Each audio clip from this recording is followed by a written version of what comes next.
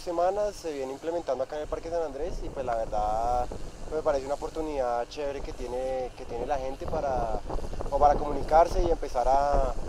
utilizar lo que antes de pronto se le complicaba, no, no, no, tenía mucho acceso, entonces me parece una posibilidad chévere que tiene el Parque San Andrés de, de tener zona Wi-Fi.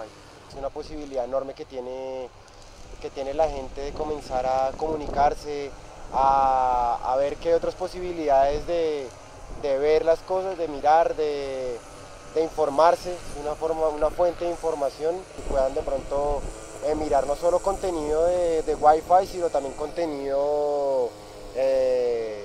de noticias, de YouTube, bueno, muchas, muchas posibilidades que tiene la Internet hoy en día.